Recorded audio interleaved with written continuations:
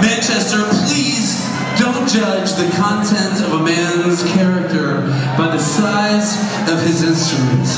Because that would be wrong. You guys are better than that. You're better than that.